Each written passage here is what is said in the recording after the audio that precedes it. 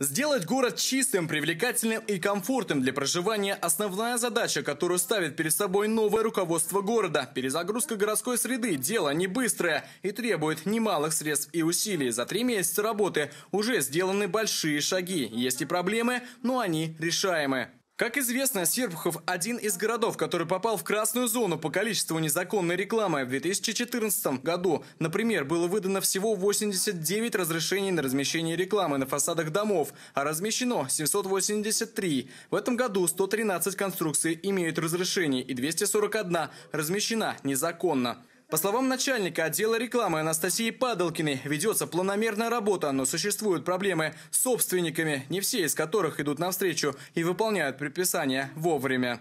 Дату 17 августа 2015 года предписание выдано на 194 рекламные информационные конструкции. Исполнено предписание уже 113. А, в данном случае нам помогают и сотрудники УВД, которые выходят вместе с нашими сотрудниками. Всего демонтировано 155 рекламно-информационных конструкций, из них 42 баннера с ограждением, потому что ограждения тоже очень сильно были увешаны, скажем так. Тоже работа ведется и в этом направлении.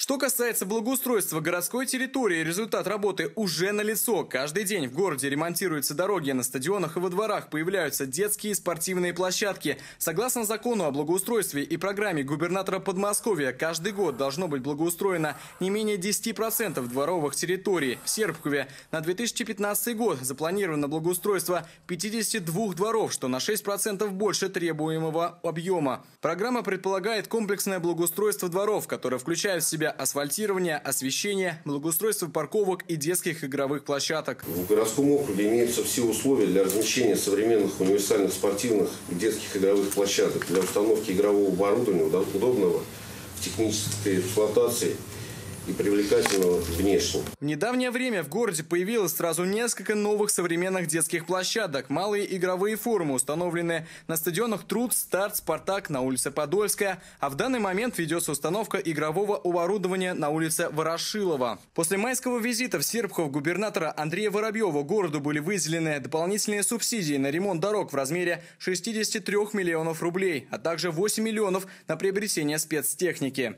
Город Серпухов пошел в программу капитального ремонта и ремонта автомобильных дорог общего пользования, дворовых территорий многоквартирных домов, проездов дворовым территориям с условиями софинансирования 40% из областного бюджета и 60% из городского.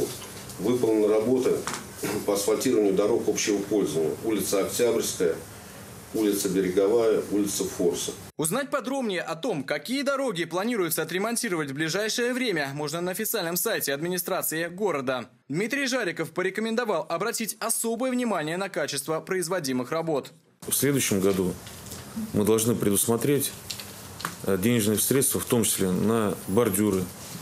Если э, технологически и безопаснее на детских площадках иметь прорезиненное покрытие, что правильно, наверное, на сегодняшний день. Давайте об этом будем думать.